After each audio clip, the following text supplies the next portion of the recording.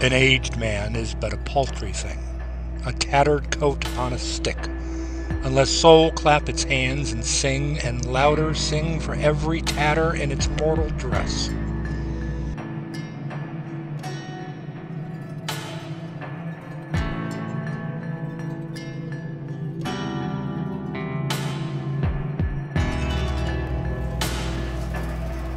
Whenever nature leaves a hole in a person's mind, she generally plasters it over with a thick coat of self-conceit.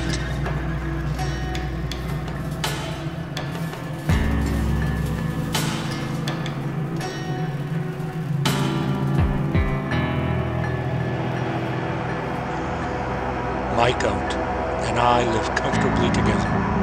It has assumed all my wrinkles, does not hurt me anywhere, has molded itself on my deformities, and is complacent to all my movements.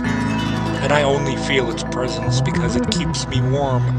Old coats and old friends are the same